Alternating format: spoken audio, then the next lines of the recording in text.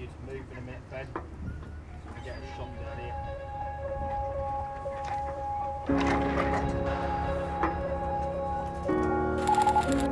Hasselblad asked me to create a short film using the H6 As a stills photographer, this would always be a challenge.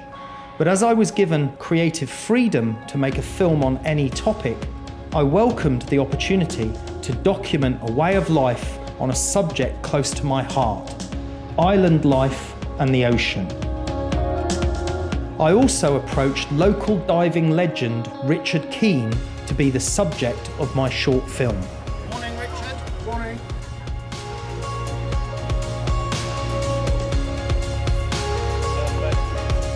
There were many challenges in using medium format to create video, but there were also some welcome surprises.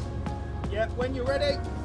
We started with several early mornings, as well as filming at sea and underwater.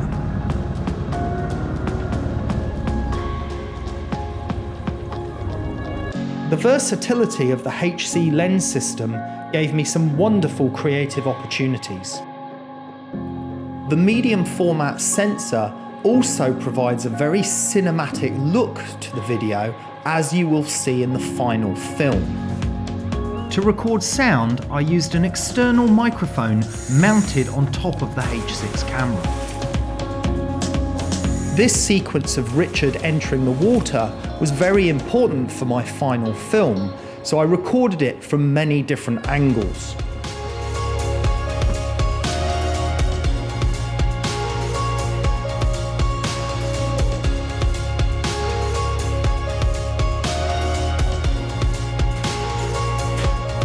I also wanted to capture the dramatic range of the tides in Guernsey on a six hour time lapse. The H6 has a built in interval timer which I took advantage of.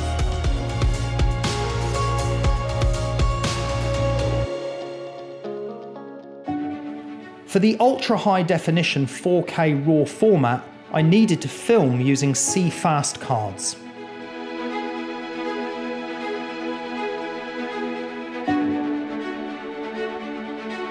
These pieces in the museum were discovered by Richard Keen, the subject of my short film.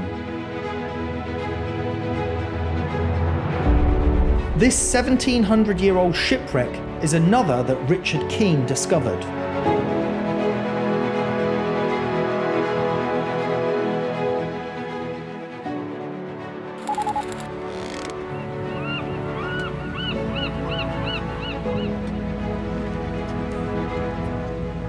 For the long shots of Richard entering the water, we needed to film from another boat. What we just did there, I did a wide version. And using a 210mm lens with a 1.7 converter in a rocking fishing boat was also a challenge. Yeah, that'd be better. Set up.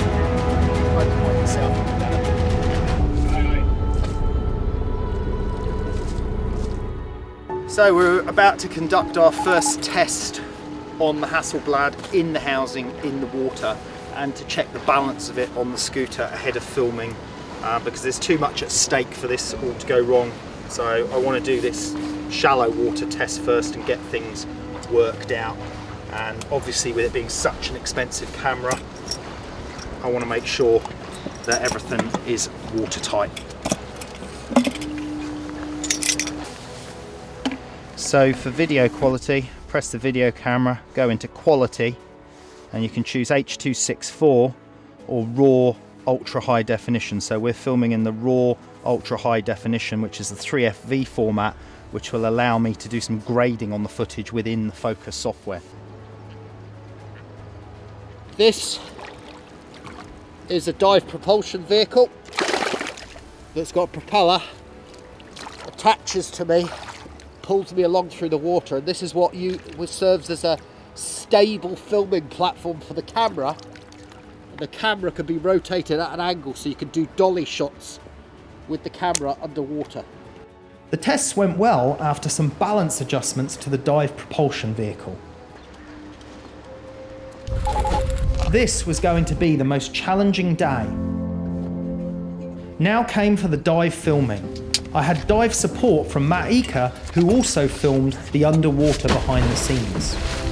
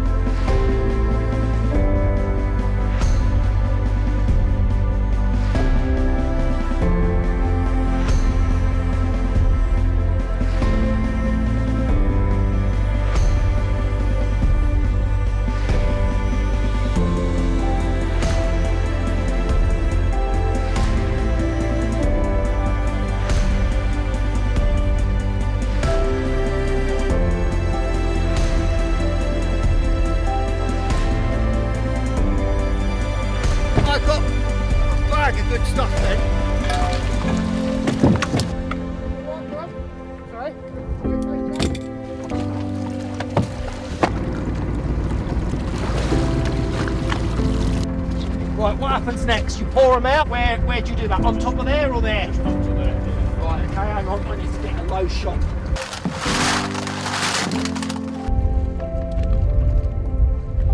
It was a great experience working with these guys and filming Richard undertaking his work. It was also a really interesting project using the Hasselblad for video and film. Before we close this out, you'll also see some of the post-production work using Phocus software, but be sure to check out the final film and the H6D section of the Hasselblad YouTube channel.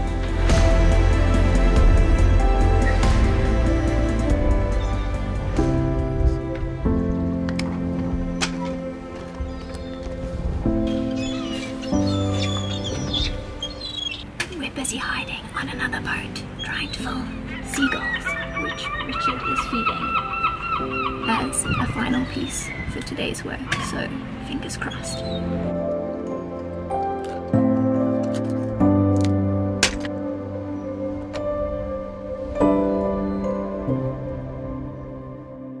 So uh, let's have a look at the clips and how you handle them in Phocus software. So if you're familiar with using the Phocus software from using the Hasselblad camera, you'll find this uh, all very familiar too. Now the great thing about this footage that I've found is it is very, very gradable. Um, it's actually incredible quality footage.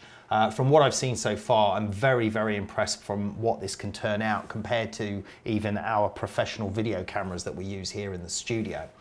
So I've loaded the clips uh, in. Immediately I noticed that we've got great highlight control, shadow detail, really good range of tones that have been captured. Now let's look at a couple of things that are important here. You've got this button called adjustment mode. If I turn that off, it basically just gives me a lower resolution uh, sort of H.264 preview clip. So I can play the clip to just have a look at it and see uh, what it looks like just to get a general feel for it. But that's not the clip in its highest quality. For the clip in its highest quality, I need to move into adjustment mode. That brings up the 3FV uh, format file and it's in adjustment mode that I'm able now to grade the clip. So I can lighten it, I can darken it. For example, I could pull up some shadow detail uh, and I can even go in as far as um, adjusting the colors. So let's say for instance the color of the orange on the skin tones there, I can select that and I can change that hue. So it's highly, highly gradable compared to uh, grading uh, clips in video editing software. I'm very, very impressed with this. Uh, then the process is that once you've done your grading is you need to export the clip. Now you can export it without grading it um, or you can apply all your grades to all your clips and then you can queue them up to do the export. And then I just go to the export button and then we have a number of options here. We can export this in Cinema DNG, which is like a raw sort of log file format for further grading. Um, it's a very flat file format, so it's very uh, malleable, you can do a lot of grading on it. But actually for me, I prefer the ProRes 422 high quality codec. uh, which is the one that I'm going to use for my short film. You can also uh, select 444 if you want even greater quality as well.